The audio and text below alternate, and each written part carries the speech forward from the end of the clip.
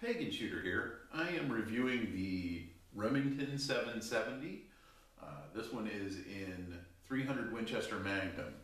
It is a three round capacity magazine, one in the chamber bolt action rifle, meaning you have to cycle the bolt action, the bolt, anytime you want to chamber around. It is a back thumb safety.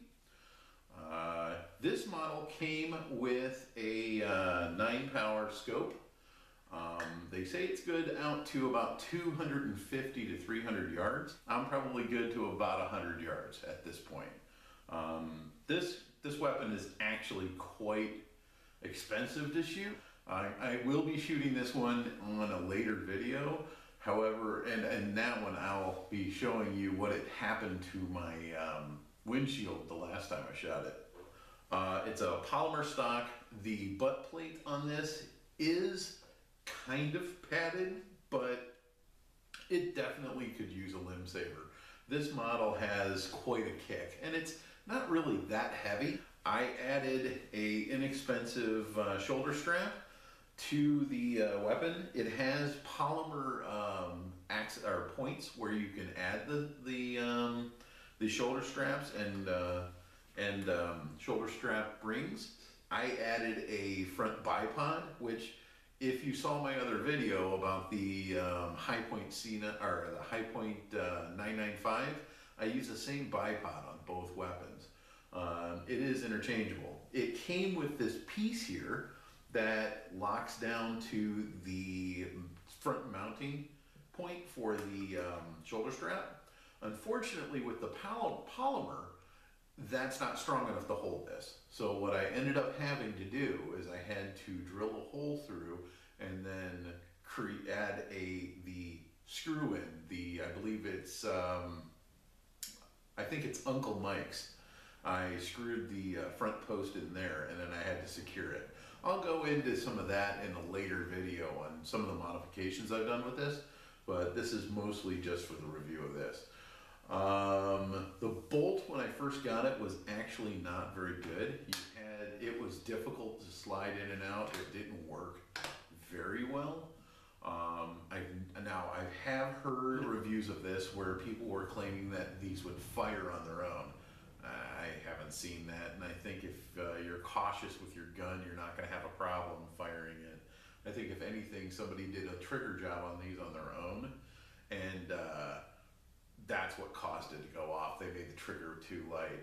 In this case, the trigger on this is pretty light. I mean, you barely have to pull it. I would say this is only maybe, maybe three pounds at the most. It's a very, very light trigger.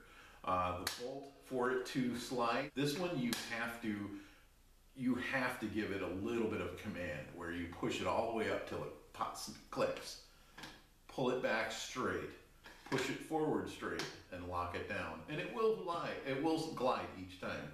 Now when I first got it, I had to work the bolt in. I had to pull it out, which is actually a pretty simple procedure. You just flip this forward, flip it up all the way, pull it, and the bolt will come right out. Um, I had to pull this out. I had to clean it very well. Uh, it was uh, pretty dirty. I had to work it in and out quite a bit with some oil to get it worked in. Um, not as high quality milling as I would like to see some of the Remington 700 models, which are the more expensive models.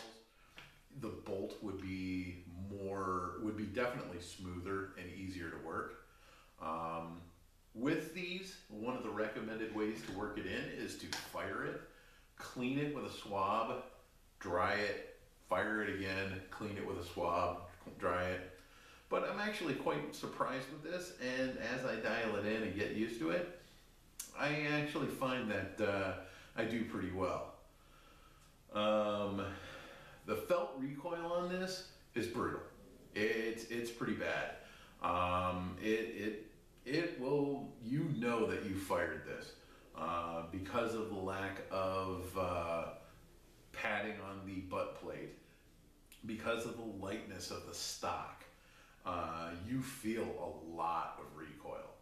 Um, so this is not something you're going to go out and just have a good day and shoot a lot of, and you know it's going to be expensive to do that. It's going to be painful to do that, but it's a nice rifle. I do. I can't say that I dislike it. Um, I do like the rifle. Um, I do enjoy shooting it on very limited terms.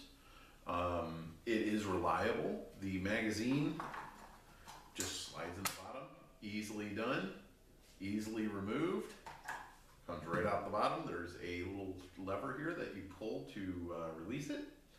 Um, I would have liked to have seen a little more wood to this and uh, maybe a little more metal around the guard here. But once again, it was a little, it was an inexpensive model. So uh, I have done some modifications to make it a little more accurate, which I have noticed the difference. But um, I'll get into those later. Anyway, Remington 770. Uh, I enjoy it. Some people may not. There are some uh, benefits are to the lower cost getting into it. Um, if you're just starting out with the longer range rifles, my suggestion would be look at the 770s, but probably not in the 300 Winchester Magnum. Uh, it's a bit much to start off with. Anyway, it's a pretty decent weapon. Um, check one out.